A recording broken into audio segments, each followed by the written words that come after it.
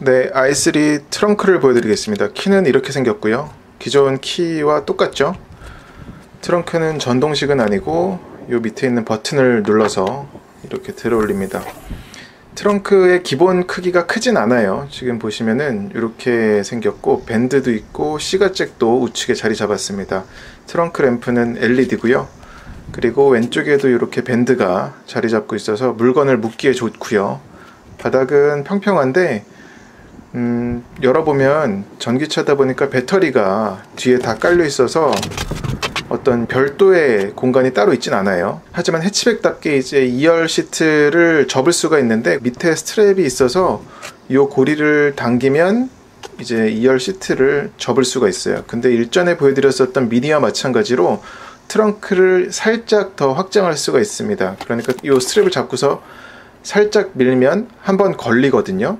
왼쪽도 마찬가지로 걸리고 걸리면 이렇게 좀 더 크진 않지만 이 정도의 공간이 확보가 됩니다. 그래서 어떤 직사각형의 박스라든지 그런 적재함 같은 것들을 시키에는 용이할 것 같아요. 네, 이건 그리고 2열 시트를 완전히 접었을 경우인데 거의 풀플랫에 가깝게 공간이 나오고 또 이 바닥도 무엇보다 평평해서 짐을 밀기에 참 편할 것 같습니다. 턱이 상당히 낮아요. 네, i3 2열 공간을 보여드리겠습니다. 지금 조수석 뒤에 앉았는데 앞자리를 이제 제 시트 포지션에 얼추 비슷하게 맞췄고요. 헤드룸은 충분히 공간이 나옵니다. 그리고 레그룸도 뭐 괜찮아요.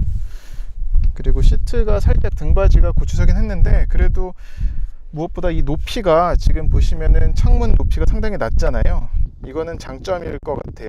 발 놓는 곳도 발이 깊이 들어갈 수 있어서 물론 이게 시트를 낮추면은 타이트하긴 하겠습니다만 괜찮습니다. 그리고 여기도 좀 파놨죠.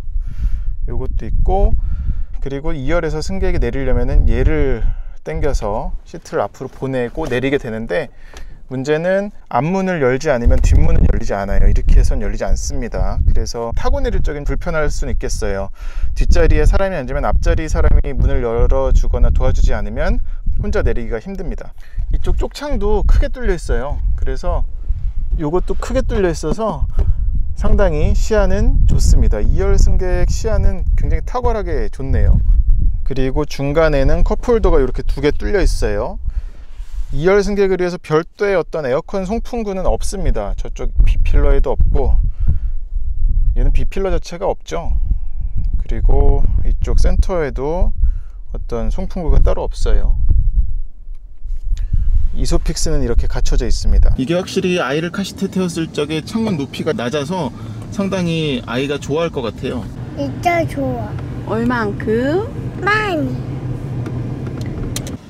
네, 지금 원태가 너무 금방 잠들어서 피곤했었나 봐요. 그래서 앞자리 시트가 일체형 시트가 상당히 커요. 높게 솟아 있어서 뒤에 승객이 앉으면은 앞이 내다 보이지 않을 정도입니다. 전방 시야가. 그래서 지금 안 씻고도 앞이 안 보인다고 그런 얘기를 했고요. 승차감에 있어서는 괜찮은 편입니다. 뒷자리도 어떤 울렁거림이라든지 그런 거는 딱히 없습니다. 딱딱하게 느껴지는 것도 없고요. 아이를 카시트에서 빼는데 i3가 이게 좀 단점인 것 같아요. 세단도 물론 루프가 낮아서 아이를 태울 적에 이렇게 머리에 부딪히거나 할 수가 있겠는데 얘도 루프가 낮기도 낮고 특이하게 좀 그리고 2열이 이렇게 문이 이렇게 코치도어로 열리다 보니까.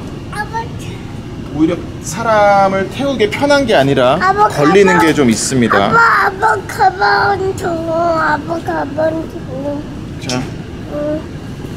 그래서 아이가 이제 주행할 적에는 뭐 밖을 내다보는 건 괜찮은데 아이고. 태우고 할 때가 아, 좀 걸리네요.